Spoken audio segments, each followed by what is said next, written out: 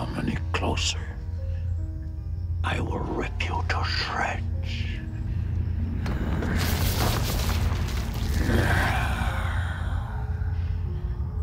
Who are you? I am the Morg. And you, whoever you are, can have the honor of being my last victim. I will not die easily. I am a warrior. Brave warrior. Then fight the nothing. But I can't! I can't get beyond the boundaries of Fantasia. What's so funny about that? Fantasia has no boundaries.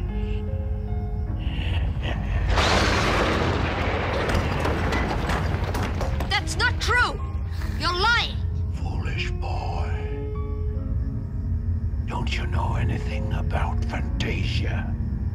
It's the world of human fantasy. Every part, every creature of it is a piece of the dreams and hopes of mankind. Therefore, it has no boundary.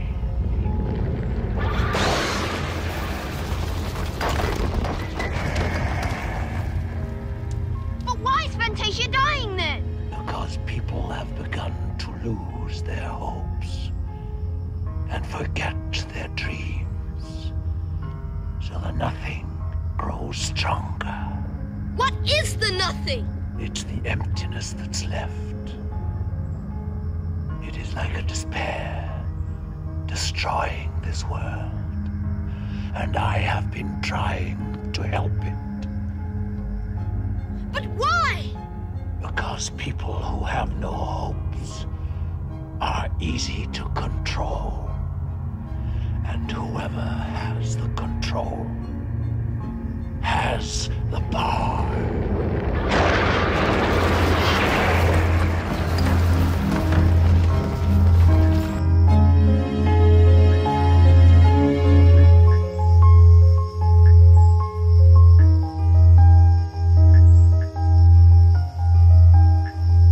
Helplessness is like the programming for powerlessness and paralysis. You're trained to believe that you have no control and to give up.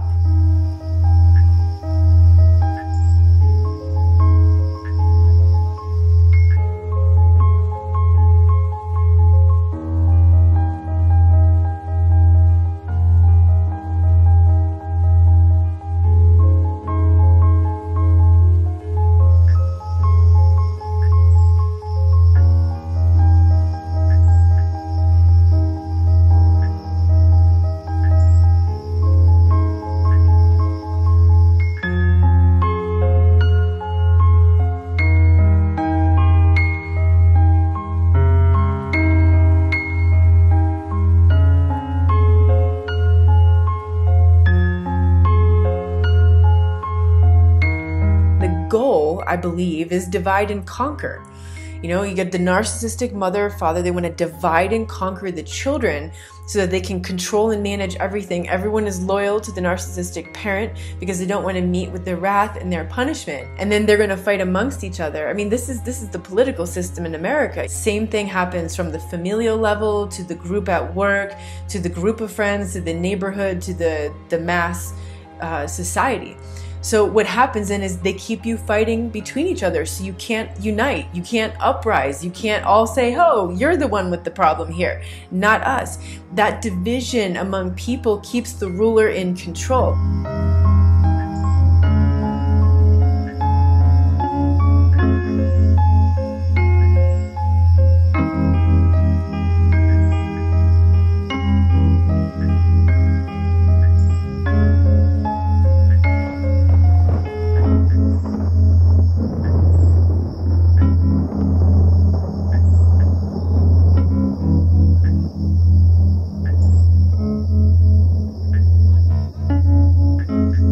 Gaslighting is lying with a goal. The motive behind the gaslighting is to make you think that you're crazy or that your memory doesn't work right, so you can't trust yourself and your perceptions of reality. This means you'll defer to the abuser for an account of what's real. So, slowly over time, the abuser becomes the authority over your life.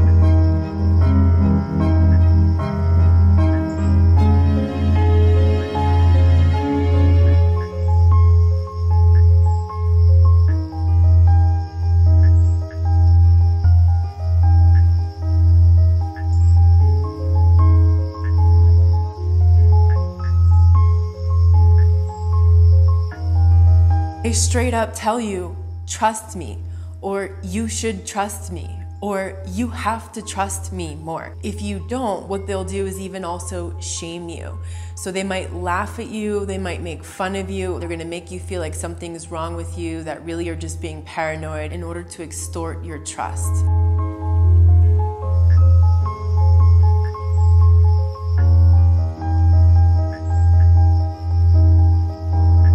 They will use gaslighting to minimize or to erase the abuse that took place. A smear campaign is slander, it's lies, false accusations, usually launched when you tell the truth or preemptively before you can tell the truth so they can discredit you and no one will believe what you have to say. The narcissist uses the smear campaign to try to stop you from speaking your truth.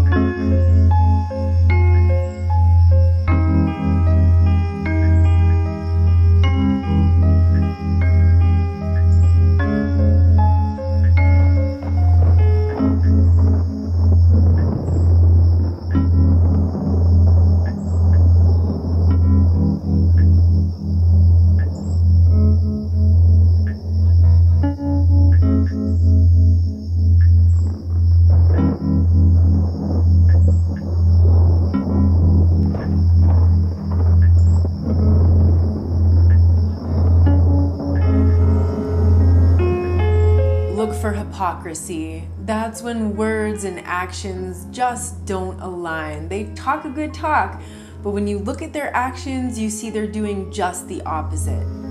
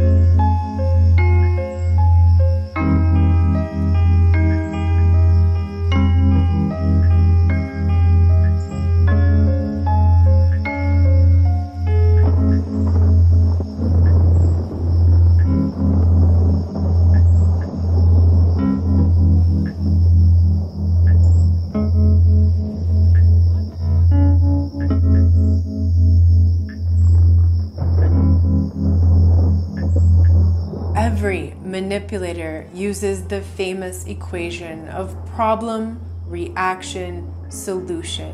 They will either create a problem or take advantage of a problem or crisis that is just naturally happening, and they'll somehow manipulate that in order to provoke your reaction. And so when you react without reflecting, without responding from a mindful place, without evaluating the consequences of your reaction and your actions, then you fall right into their trap. And that's when they provide the solution for you.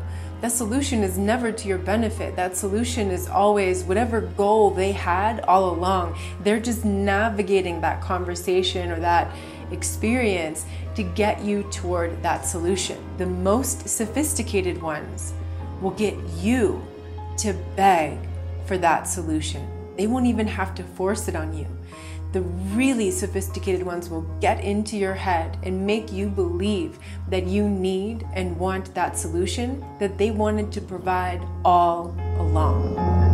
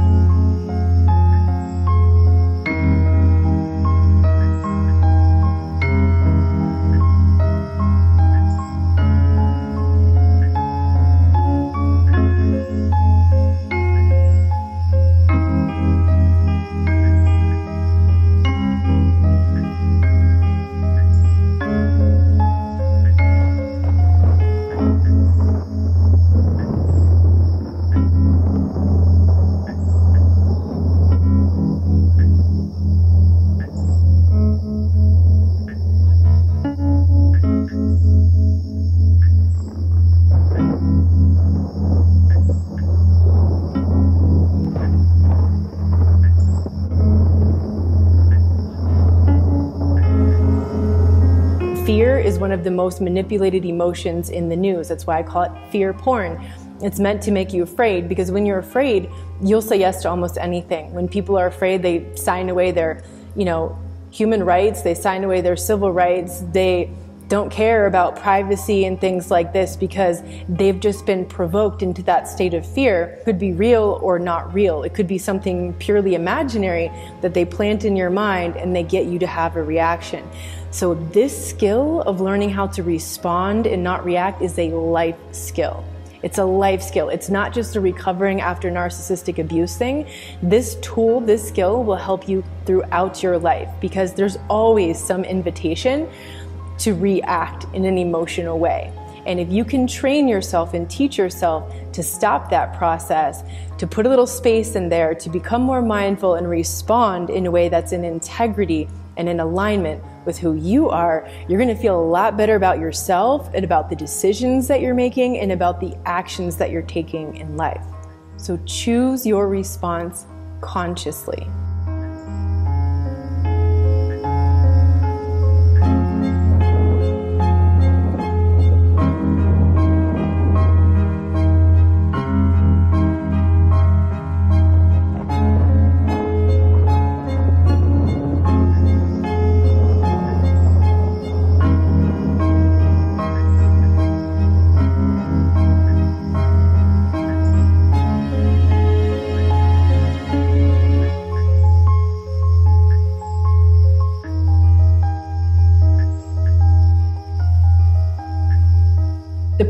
Practice for rebuilding your self worth starts by identifying and honoring your values.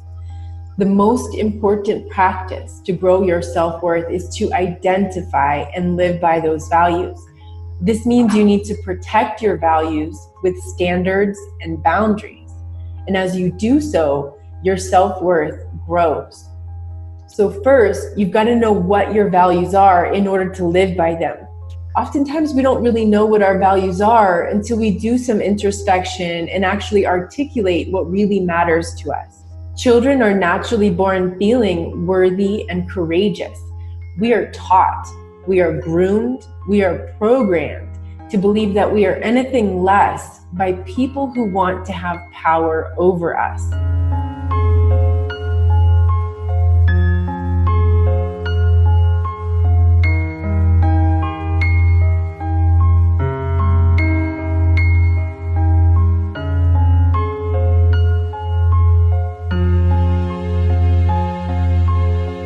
Self worth is about knowing and respecting your value. Your self worth is a measure of your value, and you are the only one who determines this value. So, when you have self worth, you don't allow yourself and your value to be defined by outside forces. Your self worth requires knowing what you're worth. Then you protect your self worth with your standards and boundaries.